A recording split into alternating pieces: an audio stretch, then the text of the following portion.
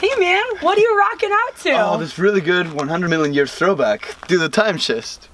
Catalina Island was formed from igneous and metamorphic rock back when dinosaurs still roamed the earth.